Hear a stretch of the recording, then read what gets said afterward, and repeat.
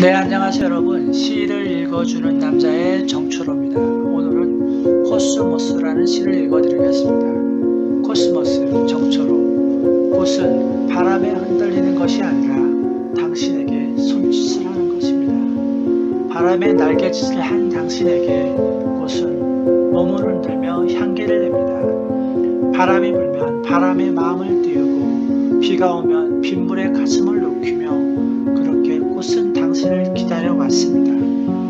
가을 하늘 아래 꽃이 바람에 흔들리는 것이 아니라 바람이 꽃에 흔들리는 겁니다.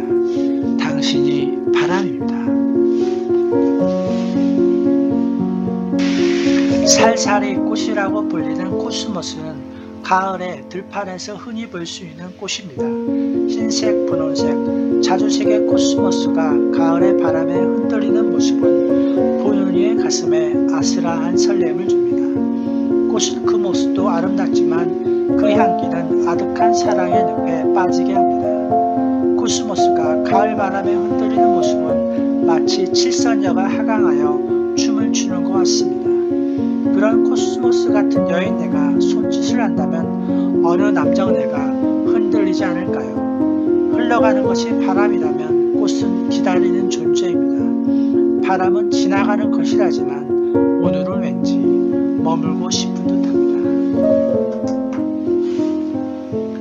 코스모스 정초로 꽃은 바람에 흔들리는 것이 아니라 당신에게 손짓을 하는 것입니다. 바람에 날개짓을 하는 당신에게 꽃은 몸을 흔들며 향기를 냅니다. 바람이 불면 바람에 마음을 띄우고 비가 오면 빗물에 가슴을 녹이며 그렇게 꽃은 당신을 기다려 왔습니다. 바람에 흔들린 것이 아니라 바람이 꽃에 흔들리는 겁니다. 당신이 바람입니다. 오늘은 코스모스라는 시를 읽어주었습니다. 감사합니다.